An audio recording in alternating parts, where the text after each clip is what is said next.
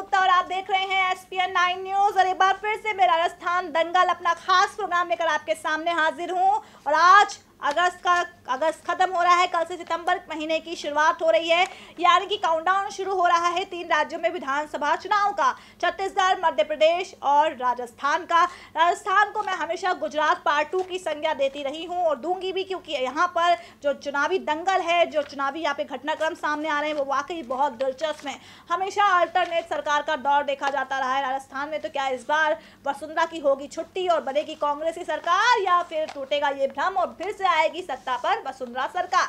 सवाल बहुत से हैं, अनगिनत सवाल है, लेकिन फ़िलहाल अभी बात करते हैं वसुंधरा राजे को लेकर, जो लगातार वहाँ पे गौरव यात्रा को लेकर सचिन पायलट के निशाने पर थी। कांग्रेस के प्रदेश अध्यक्ष हैं, राजस्थान में सचिन पायलट, जिन्होंने कहा था कि जो उनकी गौरव यात्रा निकली थी, उसमें उन्होंने आम जनता का पैसा खाया है, आम जनता के पैसों से उन्होंने यात्रा की है। अगर उन्हें दम है तो अपने पैसों से यात्रा करके दिखाएँ, आम जनता के पैसों को क्यों लूट रही हैं वसुंधरा राजे? अब ऐसे में राजस्थान की तरफ़ पूरा फोकस है बीजेपी का, हालाँकि अगले साल लोकसभा चुनाव को लेकर ही पूरा फोकस है भारतीय जनता पार्टी का, लेकिन फ़िलहाल राजस्थान में अगर अल्टरनेट सरकार का दौर अगर इतिहास देखा जाए तो ज़ाहिर सी बात है अब कांग्रेस ही सरकार बनना तय है। तो ऐसे में अगर सरकार बनना तय है तो मुश्किल में पड़ेगी वसुंधरा राजे और मुश्किल में पड़ेगी बीजेपी सरकार क्योंकि वहाँ पर कहीं ना कहीं अहदा घटेगा भारतीय जनता पार्टी का। वसुंधरा राजे के कार्यकाल का अगर ज़िक्र करूँ तो बातें बहुत की थी उन्होंने चुनावी घोषणा पत्र में, जब वहाँ पे विधानसभा चुनाव हुए थे और वसुंधरा राजे दोबारा सत्ता पर काबिज हुई थी। लेकिन क्या वो चुनावी घोषणा पत्र, जो उन्होंने जुमले, जो बातें कही थी, उसका हाल हमें देखने को मिला था साल की शुरुआत में हुए तीन सीटों पर उपचुनावों में, जहाँ पर वसुंधरा राजे का पत्ता साफ़ कर दिया था राजस्थान के आवाम ने। और अलवर से लेकर दो और सीटें थी जिस पर चुनाव हुआ था, उपचुनाव हुआ था और वहाँ पे कांग्रेस ने फतेह हासिल की थी। क्या इन उपचुनावों को मान लें हम फाइनल रिज़ल्ट कह रहा ये कहना अभी सरासर गलत होगा क्योंकि हम उपचुनाव की तर्ज पर ये चीज़ें नहीं कर सकते हैं कि अगर उपचुनाव में हार रहे हैं तो विधानसभा चुनाव भी हार जाएगी पार्टी। लेकिन हाँ वसुंधरा राजे कहीं ना कहीं लगातार घिर रही हैं। हालाँकि मुख्यमंत्री वही बनाई जाएँगी। अमित शाह ने इसका ऐलान कर दिया है उनके नेतृत्व में चुनाव लड़ा जाएगा राजस्थान में, क्योंकि वसुंधरा ही बीजेपी हैं और बीजेपी ही वसुंधरा हैं राजस्थान में। अब यहाँ पर वसुंधरा राजे को अच्छे से पता है कि उनको अगर कोई मार देने के लिए वहाँ पर खड़ा है तो वो खड़ा है एक युवा नेता जिसका नाम है सचिन पायलट, जो कि यूपीए कार्यकाल के दौरान मंत्री भी रह चुके हैं। अब सचिन पायलट जिस तरह से वहाँ पर पूरे अपने नेतृत्व को साबित कर रहे हैं, हालाँकि कांग्रेस में भी बड़ा विरोधाभास देखा जा रहा है अशोक गहलोत और सचिन पायलट के बीच में, और ऐसे में देखना होगा कि क्या किसके नेतृत्व में चुनाव लड़ती है राहुल कांग्रेस, लेकिन हाँ अभी खबर आई थी बीते दिनों की राहुल गांधी के नेतृत्व में ही राजस्थान में चुनाव लड़ा जाएगा, क्योंकि राहुल गांधी नहीं चाहते हैं कि अशोक गहलोत और सचिन पायलट के बीच में ज़्यादा मनभेद उभरे, क्योंकि वहाँ पे मुख्यमंत्री पद को लेकर लगातार दोनों ही नेताओं के जो समर्थक हैं, वो अपनी अपनी बातें ज़ाहिर कर रहे हैं। अब वसुंधरा राजे की बात कर लेते हैं। वसुंधरा राजे को सचिन पायलट थोड़े से बच्चे लगते हैं। जी हाँ वसुंधरा राजे को बच्चे लगते हैं। सचिन पायलट, उन्होंने कहा है कि वो राजनीति के बच्चे हैं। अभी उन्हें उतनी समझ नहीं है कि आखिर चुनाव कैसे लड़ना चाहिए और आखिर सियासत करनी कैसे चाहिए, ये कहना है। वसुंधरा राजे का उन्होंने कहा है कि सचिन पायलट सियासत में नए बच्चे हैं और उन्हें प्रदेश की राजनीति की पहचान नहीं है और राजे ने जैतारण में अपनी गौरव यात्रा के दूसरे चरण पर आयोजित सभा में राज्य सरकार की उपलब्धियों का गुणगान किया तो वहीं गौरव यात्रा पर पत्थर बरसाने वालों को भी आड़े हाथों लिया। उन्होंने अपने पौने पाँच साल के कार्यों का ज़िक्र करते हुए कहा कि राज्य सरकार ने आम जनता के हित में कई नई योजनाओं का शुभारंभ किया है, जिसका लाभ राजस्थान की आवाम तक पहुँचा है। उन्होंने अपने कार्यकाल की उपलब्धियों का हवाला देते हुए कहा, आम जनता से इस बात की अपील की कि उनकी ही पार्टी को चुना जाए राजस्थान के विधानसभा चुनाव में। और उन्होंने ये भी कहा कि राखी की लाज रखें राजस्थान की आवाम उनके लिए।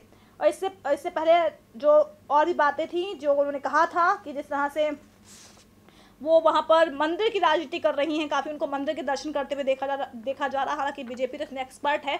अब राहुल गांधी भी इसी नक्शे कदम पर चल रहे हैं, वो भी एकदम एक्सपर्टीज होते जा रहे हैं। तो अभी हाल ही में वो मिश्री मल और लोकमान्य संत रूपी मुनि की समाधि पर जाकर उन्हें श्रद्धांजलि दी थी, उन्होंने और संतों का आशीर्वाद दिया था। इसके अलावा भी वो कई मंदिरों के दर्शन कर चुकी हैं। ऐसे में उन्होंने अभी फ़िलहाल सचिन पायलट को बच्चा कहा है, बच्चा कहा है और कहा है कि भाई वो राजनीति के बच्चे हैं, उन्हें ज़्यादा समझ नहीं है कि आखिर राजनीति करनी कैसी चाहिए? लेकिन अक्सर हम इस गफलत में चूर हो जाते हैं। हम ये सोचते हैं कि हम साठ साल सत्तर साल के हो गए तो हमें ज़्यादा अनुभव है। होता है कि हमारे समाज में हमारे हमारे हिंदुस्तान में ऐसी टेंडेंसी है कि जो जितना जिसकी जितनी उम्र होगी उसको अनुभव का अनुभव उतना ही होगा उसको तजुर्बा उतना ही होगा। लेकिन एक, बात कहते हैं ना कि टैलेंट किसी उम्र का मोहताज नहीं होता है। टैलेंट के लिए कोई उम्र कोई बेड़ियाँ नहीं बन पाती हैं और यही टैलेंट शायद सचिन पायलट में बना सचिन पायलट में है तभी वो वसुंधरा राजे थे है बहुत छोटे। लेकिन हाँ कहीं ना कहीं उनका सियासी करियर भी बहुत बेहतरीन रहा है और उन्होंने जिस तरह से कम उम्र में ही अगर देखा जाए चौबीस पच्चीस साल में जिस तरह से उन्होंने अपना सियासी सियासी करियर को एक चमक दी है, वो वाकई एक मिसाल के तौर पर कही जा सकती है। उनको बच्चे भले ही लग रहे हों, लेकिन वसुंधरा राजे को ये नहीं भूलना चाहिए कि तीन उपचुनावों में, अभी साल की शुरुआत में तीन सीटों पर जो उपचुनाव हुए थे, उसमें सचिन पायलट के नेतृत्व में ही कांग्रेस ने सफलता पाई थी तो वो बच्चे कहाँ से हो गए? खैर, वो अपने हिसाब से सोच रहे बहुत ज़्यादा बुज़ुर्ग हो गई होंगी, वो तो वो बच्चे, वो राजनीति के बच्चा कह रही हैं सचिन पायलट को, लेकिन कुल मिलाकर ये बच्चा कितना कमाल कर पाता है आगामी राजस्थान में होने वाले विधानसभा चुनाव में। ये देखना भी दिलचस्प होगा और सचिन पायलट क्या पलटवार करते हैं वसुंधरा राजे पर यह भी देखना दिलचस्प होगा। और साथ ही क्या वाकई सचिन पायलट अगर इस बार कांग्रेस की नैया पार नहीं लगा पाए राजस्थान में तो क्या क्या वाकई सचिन पायलट को राहुल गांधी की तरह ही बहुत कुछ सीखने की भी ज़रूरत है? क्योंकि राहुल गांधी को भी बहुत से लोग आरोप लगाते हैं, विरोधी पार्टी आरोप लगाती हैं कि उन्हें बहुत कुछ सीखने की ज़रूरत है, क्योंकि उनकी सियासी परिपक्वता बहुत कमज़ोर है। हालाँकि पार्टी में अगर युवा नेताओं की बात की जाए तो ज्योतिरादित्य सिंधिया का ज़िक्र करूँ, सचिन पायलट का ज़िक्र करूँ, नवीन जिंदल का ज़िक्र करूँ, या ज़िक्र करूँ जितिन प्रसाद का, सभी युवा नेता हैं कहीं ना कहीं सबकी कार्यशैली की बहुत तारीफ़ होती है। बस राहुल गांधी को अगर छोड़ दिया जाए, क्योंकि राहुल गांधी को कम तर आका जाता है इन नेताओं की अपेक्षा। लेकिन हालाँकि वो बातें अलग हैं, क्योंकि वो सोनिया गांधी के बेटे हैं तो ज़ाहिर सी बात है, पार्टी की कमान तो उनके हाथों में ही दी जाएगी और दी भी गई है। फ़िलहाल जिस तरह से सचिन पायलट को वसुंधरा राजे ने कहा है, राजनीति का बच्चा, इस पर देखना होगा कि सचिन पायलट क्या पलटवार करते हैं, क्या कहती है कांग्रेस सरकार और क्या वाकई अगर इस बार राजस्थान कांग्रेस के हाथ से फिसला तो क्या वाकई राजनीति के बच्चे ही करार दिए जाएँगे सचिन पायलट? फ़िलहाल देखना दिलचस्प होगा और राजस्थान में चुनावी दंगल जो है, वो लगातार अब और भी ज़्यादा मज़बूत हो रहा है और भी ज़्यादा घटनाक्रम उसमें सामने आ रहे हैं। अब देखना होगा कि जैसे ही चुनाव आयोग की तारीखों की चुनाव आयोग की तरफ़ से तारीखों का ऐलान किया जाता है तो फिर और क्या क्या रणनीति सामने आती है बीजेपी और कांग्रेस की? और कांग्रेस को इस वक्त अपनी पार्टी पर, अपने पर फोकस बहुत करना होगा राजस्थान में क्योंकि दो बड़े नेता, सचिन पायलट और अशोक गहलोत के बीच में जिस तरह से गहमा गहमी देखने को मिल रही है, इसका पूरा फ़ायदा बीजेपी उठा सकती है और इससे कहीं ना कहीं कांग्रेस को हार का सामना करना पड़ सकता है राजस्थान विधानसभा चुनाव के साथ साथ आगामी लोकसभा चुनाव में। तो ऐसे में सबसे पहले राहुल गांधी को फोकस करना होगा, अपने दोनों नेताओं के बीच चल रहे मतभेद को खत्म करने में। उसके बाद वो फोकस करें। और भी चीज़ों को लेकर। फ़िलहाल देखते हैं, क्या पलटवार करते हैं सचिन पायलट व सुंदर राजे पर। नमस्कार।